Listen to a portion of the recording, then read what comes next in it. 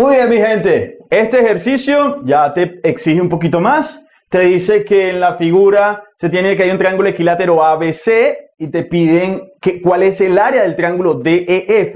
Mira la información que se te muestra, analízala bien, interprétala bien. Como dato, mira que la altura del triángulo ABC ya la conocemos y tenemos ahí esas alternativas, ¿de acuerdo? Pausa tu video, resuélvelo por ti mismo. ¿Ya? Empecemos entonces.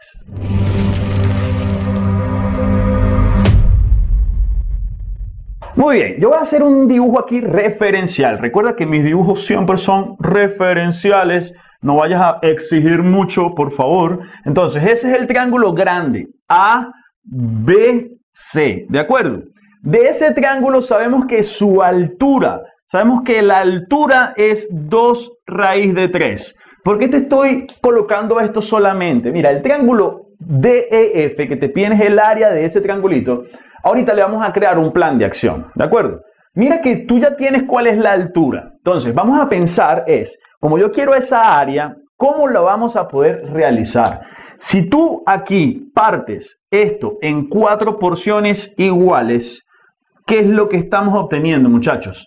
Que el triángulo que a ti te están pidiendo, attention please, el triángulo que a ti te están pidiendo sería que el, aquí vamos a colocar E y aquí la D y la F de nuestro ejercicio. Atención, el área del triángulo, del triángulo DEF, que es el de la pregunta, DEF, se puede decir que es igual a la cuarta parte del triángulo grande, del área del triángulo ABC.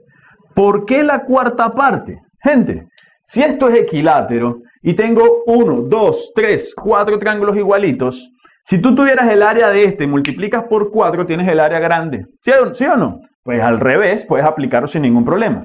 Aquí tenemos nuestro bello plan de acción. Por eso es importante esta información que está aquí. La altura del triángulo grandote. ¿De acuerdo? De los videos que vimos conceptuales y en los ejercicios anteriores, te expliqué cómo se relaciona la altura de un triángulo equilátero con la base. Te invito a que le eches un vistazo. En los videos conceptuales está lo que es el área de un triángulo equilátero. Ahí te hago toda la demostración completa. Si tú tienes un triángulo equilátero, vamos a suponer que la distancia que hay desde aquí hasta aquí la vamos a llamar A. ¿Ok? Si es equilátero y esta distancia mide A, la distancia de aquí a aquí también mide A y la distancia de aquí a aquí también mide A. Por ser equilátero, todas miden lo mismo. Y recuerda que la altura la altura para cualquier triángulo equilátero es agarrar el valor del lado, que es A, y multiplicarla por raíz de 3 sobre 2. Eso es ley. La demostración está en el video conceptual. Que la altura de un triángulo equilátero es raíz de 3 sobre 2A. Como eso es ley, te pregunto yo. Si ya sabemos que la altura es 2 raíz de 3, ¿sí? Si ya la altura es 2 raíz de 3, ¿qué valor debe tomar A para que nos dé 2 raíz de 3? La pregunta lo puedes hacer despejando. Mira que lo puedes representar así. Si el valor de h, si el valor de h es 2 raíz de 3, si el valor de h es 2 raíz de 3 y eso tiene que ser igual a raíz de 3 sobre 2 por a, el valor de a debería ser 4. ¿Por qué 4? Porque mira que 4 entre 2 es 2 y nos quedaría 2 raíz de 3. Y si no, despeja. No cuesta nada despejar. Este 2 pasa a multiplicar, el raíz de 3 pasa a dividir, que de hecho el raíz de 3 se cancela con el raíz de 3 y el 2 por 2 pasaría siendo que A es igual a 4.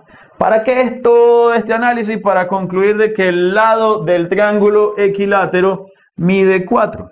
Si esto mide 4, si ya esto es 2 raíz de 3, la altura es 2 raíz de 3, Tú de ahí puedes saber cuánto es el lado del triángulo y el área de un triángulo es base por la altura entre 2, ¿o no? Si ya sabes que la altura es esto y sabes que esto es la base, pues el área del triángulo ABC, área del triángulo ABC, sería multiplicar la base, que es el lado, que es 4, por la altura, que es 2 raíz de 3, sobre 2. ¿Y cuánto da esto? Mira que el 2 con el 2 se puede cancelar, lo puedes hacer así si quieres. Como todo está multiplicando, 2 y 2 se cancela, quedaría 4 raíz de 3.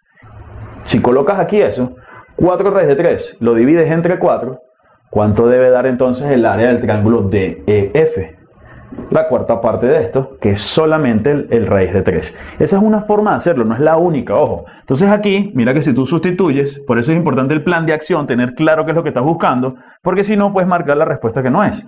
Si eso es 4 raíz de 3, cuando divides estas cantidades, el 4 y el 4 se cancelan y queda que solamente el triángulo DEF, que es la cuarta parte del triángulo grande, sería raíz de 3. Solita solo raíz de 3 unidades el área de ese triángulo. ¿Ok? Esa es una forma de hacerla. La otra manera es que si ya esto es 4, este pedazo es 2, este pedazo es 2, significa que esta distancia es 2 unidades.